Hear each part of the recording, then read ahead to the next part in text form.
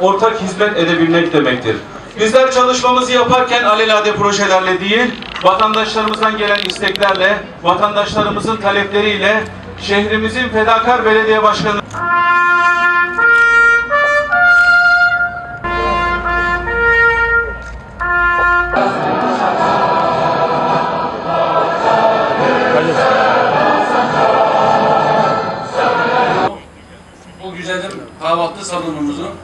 nazilimize, hepimize hayırlı uğurlu olsun diyorum. Sayın Başkanım, Allah yolunuzu açık etsin. Bizim de aynı şekilde. Teşekkür ediyorum ben de.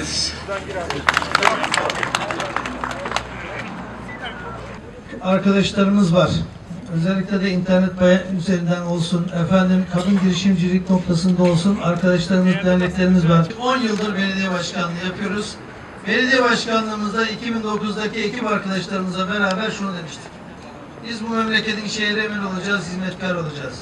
10 yıl boyunca Allah'a şükür bunu yaptık. Bu milletin yanında olduk. Bu milletimizin sevgili nazillerin hep düğününde, cemiyetinde, kötü gününde, iyi gününde hep yanında olmaya çalıştık. Allah'a şükür ki sizler de yaklaşık 10 yıl boyunca da bu evladınızı sahip çıktınız. Ben böyle güzel bir şehirde belediye başkanı yapmaktan böyle onur ve gurur duyuyorum. Bu onur ve gururu sizlere yaşattınız. Hepinizden Allah razı olsun. Nazilli Belediye Başkanlığı hakikaten kutsal görevlerden bir tanesi. Bu şehir her şeye layık. Bu şehir altında yaşayanıyla, altında yaşayan diyorum, hep söylüyorum yukarıda Sinan dedesi var, aşağıda Muhammed Sütü var. Hakikaten dünyaya mal olmuş, hep bizim çocukluğumuzda büyüdüğümüz değer büyüklerimiz. Bunun yanında üstte ise hakikaten üreten bir nazili güzel değerlendirecek. Özellikle ben büyüklerimden bunu eşine, dostuna gittiği, geldiği yerde iyi anlatılmasını isterim. Bakın Nazilli'de de diyeceksiniz ki Alıcık olarak siz yaklaşım yaptınız mı? Vallahi yaklaşım yaptık. Her şeyle yaptık. Randevusunu istedik, projelerimizi de götürdük, her şeyini yaptık ama bakın bir de yukarıda Allah var. Bu memlekete hizmet edenler de söyleyeceksiniz. Ben devlette bakanı gittim de, milletvekili gittim de, başbakanı gittim de, cumhurbaşkanı gittim de çok daha rahat randevu aldım ve görüştüm. Ve Nazilli'ye hizmet ettik. Bakın söyleyeyim size. Belki Nazilli'de hep unutuluyor bunlar da. Nazilli için tarihi proje bunlar. Dedim ki Sayın Bakan Veysel Eroğlu bugün de altı buçukta misafir edeceğiz. Afyonlar Derneğimizin açılışına gelecek Bakan Bey. Dedim ki Sayın Bakanım Nazilli Allah'ın yeryüzündeki cenneti. Fakat bu şehir talihsiz bir şehir. Neden dedi baş, başkanım diyorsun dedi. Sayın Bakan büyüklerimizden de yetki alındı. Allah nasip ederse 2019'dan sonra Nazilli Sümer Üniversitesi'ne kavuşacak. Bu ne demek biliyor musunuz? Nazilli 35 bin ve 40 bin arasında öğrenci demek. Bugün 14 bin öğrenciyle bu şehir hayat buluyor.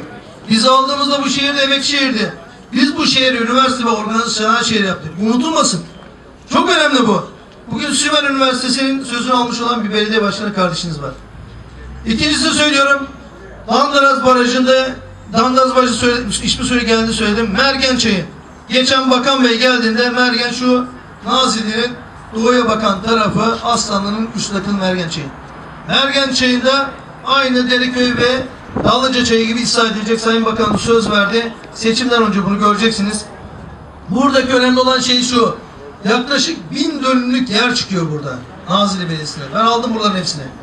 Bu bin dönümlük alanda ben hobi bahçeleri, yürüyüş yolları, bisiklet yolları, piknik alanları, spor alanlarının bulabileceği ve 3-4 tane de köprü olacağı ve Nazilli'nin eski Nazilli yolunun canlanacağı bir marka yer olacak burası.